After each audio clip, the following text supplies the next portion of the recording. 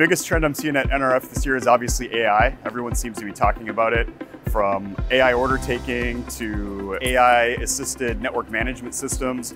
Everybody has some sort of angle that they're working toward with AI.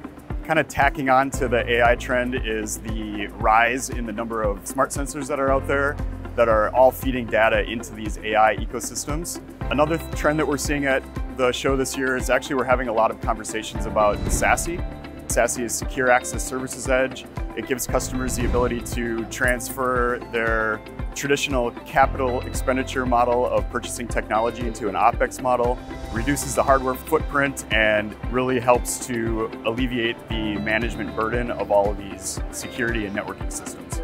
Fortinet helps to drive success for retailers by offering a integrated security fabric. So instead of having multiple disparate systems that have to be bolted together into a solution, Fortinet offers a cohesive fabric where all of the different technology pieces communicate with one another, share information about threats and attacks that are ongoing. So for instance, if a security outbreak happens with somebody opening up an email attachment that uh, detonates a piece of malware onto their device, the email security system is able to recognize that threat, create a signature on the fly for that threat, and then also not just protect the email endpoints, but also be able to share that new threat intelligence with all of the firewalls that might be deployed to the different stores and locations and help people stay protected when these outbreaks happen.